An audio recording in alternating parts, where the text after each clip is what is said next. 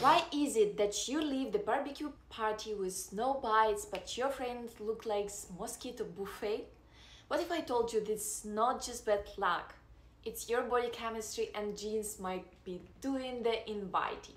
Mosquitoes find humans using their smell sensors.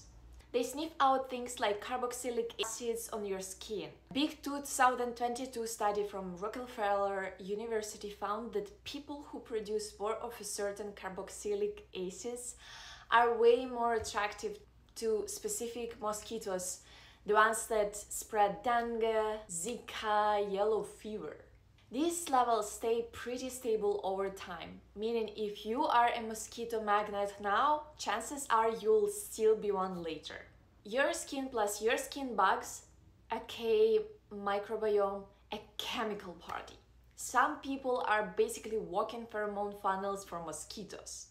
Genetics play a role. Folks with certain variants in receptors that respond to acid compounds may be more detectable. Other factors that boost mosquito appeal more CO2, like if you're bigger, more active, or pregnant. Then body heat and sweat, lactic acid, sweaty equals mosquito party zone. Skin microbiota, the bacteria on your skin break down sweat, sebum, and produce these acids. The more of certain kinds, the more smell signals.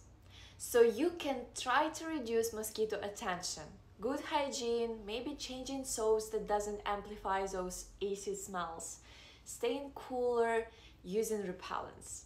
Here's the question I want you thinking about next time you scratch a mosquito bite. If you could dial down one thing, body odor, skin bacteria, heat, or genetics, what would you try?